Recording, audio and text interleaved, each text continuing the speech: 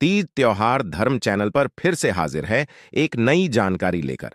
आज हम आपको एक ऐसे पेड़ पौधे के बारे में अवगत कराएँगे, जिस पेड़ का नाम इस पौधे के नाम से जाना जाता है, जिसका नाम है रतन जोत इस रतन जोत को अलग अलग भाषाओं में अलग अलग नाम से जाना जाएगा।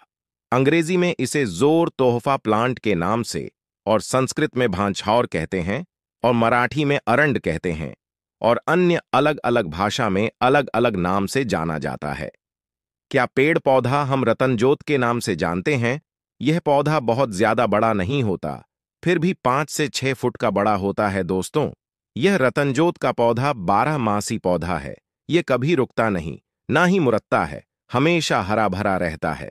लेकिन दोस्तों कभी कभी पतझड़ के मौसम में इसके पत्ते झड़ जाते हैं, और पत्ते को झड़ने के बाद में सिर्फ़ डेंटल ही दिखाई देते हैं।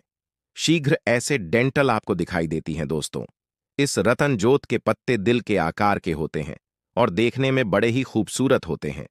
अगर कहा जाए तो पाँचों पंजों के जैसा दिखाई देता है। आप देख लीजिए, पहचान लीजिए। इस रतन जोत के फल गोल गोल होते हैं और वह फल भी काफ़ी सुंदर दिखाई देते हैं। आप देख लीजिए रतन जोत के फल को इसमें गुच्छी लगे होते हैं और जब कच्चे होते हैं तो हरे हरे होते हैं और पक जाने के बाद इनके रंग पीले हो जाते हैं, और सूख जाने के बाद इसका रंग जो है बिल्कुल ब्राउन और भूरे रंग का हो जाता है। और हाँ दोस्तों, एक बात और जान लीजिए, इस रतनजोत के फल या तो टूट जाते हैं, या तो अपने आप फट जाते हैं। फटने के बाद इसके अंदर जो बीज होती है, वह बीज बाहर निकलकर गिर जाते हैं। वह बीज करीबन अंडी के बीज के आकार के होते हैं। आप देख लीजिए, जैसा कि आप वीडियो में देख पा रहे हैं जी हाँ दोस्तों, अंडी के फल गुच्छे में लगती है। इसी तरीके से रतनजोत के फल भी गुच्छे में लगते हैं। लेकिन उसके फल बहुत ही सुंदर दिखाई देते हैं और चमकीले होते हैं। तो दोस्तों, देख लीजिए, पहचान लीजिए, इस रत्नजोत के फलों को छोड़ने के बाद अंदर जो भी निकलता है, वह अरबी के बीज जैसा होता है और चमकीले होते हैं। तो दोस्तों, देख लीजिए, पहचान लीजिए, इस रत्नजोत के फलों को छोड़ने के बाद अंदर जो भी निकलता है वह अरबी प्लीज़ से आप मिलते जुलते होते हैं और चमकीले होते हैं। तो दोस्तों देख लीजिए, पहचान लीजिए। इस रत्नजोत के फलों को छोड़ने के बाद अंदर जो भी निकलता है, वह अरबी के बीज से मिलते जुलते होते हैं काले काले होते हैं। लेकिन फ़र्क इतना होता है कि अरडी का बीज छोटे से छोटे होते हैं और चेतनवरी होते हैं और इस रतनजोत का जो बीज है, वह काले रंग का होता है और बड़े बड़े होते हैं। तो आज मैं आपको दिखा रहा हूँ, आप बीज को देखकर पहचान लीजिए ताकि ज़रूरत में आपको काम आए तो आप पहचान सके। और हाँ दोस्तों, इस तरह रतनजोत के पेड़ को भी ठीक से देख लीजिए, पहचान लीजिए। रतनजोत का पौधा बिना पानी भी सालों साल तक हरा भरा रह सकता है और यह पौधा पत्रों के बीच में भी अपना जल जमाव लेता है। लेकिन ऐसा नहीं है दोस्तों की यह रतनजोत का पौधा सिर्फ़ पत्थरों के बीच में ही पैदा होता है। यह बंजर ज़मीन भूमि के अंदर भी पैदा होता है और बहुत से किसान भाई इस रतनजोत की खेती भी करती हैं और इसके फलों और इसके बीजों का तेल निकालकर मार्केट में बैठकर काफ़ी ज़्यादा मुनाफा कमाते हैं। इसीलिए बहुत से किसान भाई इस रतनजोत की खेती भी करते हैं। दोस्तों, इस रतनजोत के पौधे को साल में सिर्फ़ एक बार पानी की ज़रूरत है। बार बार पानी नहीं मिलता है तो अभी यह हरा भरा रहता है। मैंने तो आपको पहले बता दिया। लेकिन हाँ दोस्तों, अगर इस रतनजोत को बरसात का पानी मिल जाए तो यह बारिश के पानी को अपने अंदर खींच कर रख लेता है, और पूरे साल भर तक इस पानी से यह हरा भरा रहता है।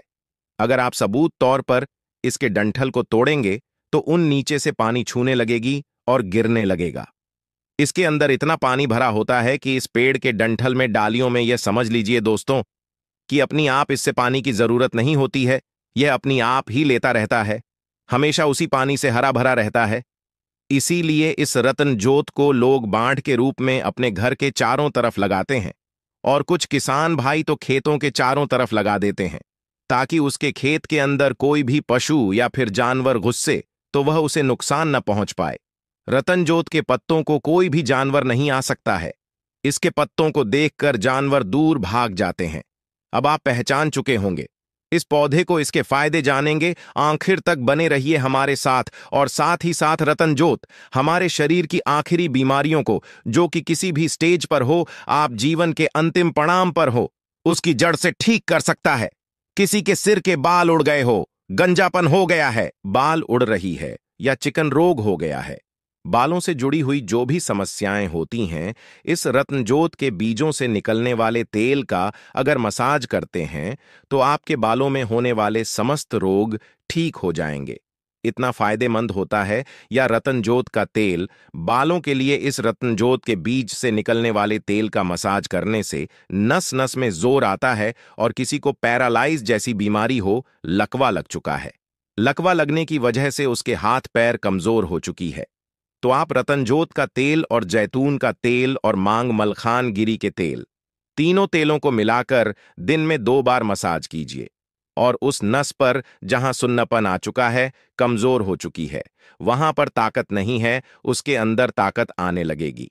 बस आपको इसे धीरे धीरे करके प्रतिदिन लगाना है और पैरालाइज का अटैक हो या कोई भी बीमारी हो कुछ ही दिनों में मात्र इसे लगाने से, मसाज करने से दोस्तों धीरे धीरे करके आपके अंदर ताकत आती रहती है।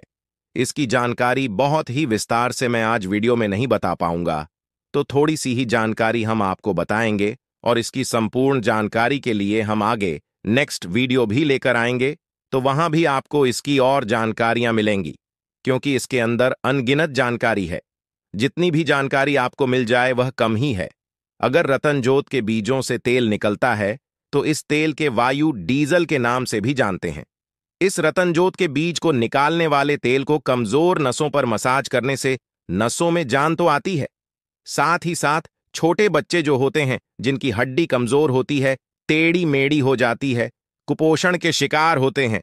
कोई बच्चा हो रतनजोत के तेल से आप मसाज कीजिए, फ़ायदा होगा दोस्तों। रतनजोत का तेल बहुत ही फ़ायदेमंद होता है। अगर किसी के जोड़ में दर्द और गठिया का दर्द है तो आप रतनजोत के तेल को मसाज कीजिए। जोड़ों का दर्द ठीक होने लगेगा। यहाँ तक कि अगर किसी को साइटिक का दर्द है, साइटिका के दर्द में भी आप रतन जोत का तेल मसाज कीजिए। इस दर्द में भी आपको आराम मिलेगा। रतन जोत का इस्तेमाल स्त्रियों के स्तन को भी सुडौल बनाने के लिए, यानी कि सुंदर बनाने के लिए किया जाता है। बहुत सारी ऐसी स्त्रियाँ हैं, जो अपना स्तन चेक को लेकर काफ़ी ज़्यादा निराश रहती हैं। कहीं ना कहीं जाकर शर्मिंदगी भी महसूस करती है। तो ऐसे में स्त्रियों के लिए रतनजोत का तेल बहुत ही फ़ायदेमंद साबित होता है। इस रतनजोत के तेल के साथ में अनरडी कातिल फ़ायदेमंद है, लेकिन इसके पत्ते भी फ़ायदेमंद में कुछ कम नहीं है। चाहे आपके कहीं पर भी खाज खुजली फोड़ा फूसी किसी भी प्रकार की चमड़ी की बीमारी हो तो आप इसे रतनजोत के पत्तों को पीसकर पेस्ट बनाया और 50 ग्राम पेस्ट में एक चम्मच हल्दी डालकर किसी भी प्रकार की त्वचा रोग बीमारी में आप इसको मिला करके लगा लीजिए, बिल्कुल जड़ से समाप्त हो जाएगी। दोस्तों, ये रतनजोत का पेड़ हमारे शरीर के लिए इतना फ़ायदेमंद है कि समझो एक तरह की अमृत दवा मिल गई हो। रतनजोत के तेल के साथ में अरडी का तेल मिलकर के प्रतिदिन दो से तीन बार अगर मसाज करते हैं पैरों की एड़ियों में तो आपके पैरों की एड़ियाँ चिकनी और सॉफ्ट हो जाती है। देखने में ऐसा नहीं लगेगा कि कभी आपकी एड़ियाँ फटी थी दोस्तों। अगर किसी की सीने में कफ जम चुका है, कफ साफ़ नहीं हो रहा तो आपको रतन जोत के तेल को सीने में अगर मसाज करते हैं और गर्मा गर्म आप कपड़े से सिकाई करते हैं तो जमा हुआ कफ तुरंत के तुरंत दो से तीन बार सिकाई करने के बाद, मसाज के बाद साफ़ हो जाता है। गर्म तासीर की वजह से सर्दी खांसी जुकाम में काफ़ी ज़्यादा फ़ायदेमंद भी माना जाता है। आपकी जानकारी के लिए। मैं आपको बताना चाहता हूँ कि यह रतन जोत अकेला काफ़ी है।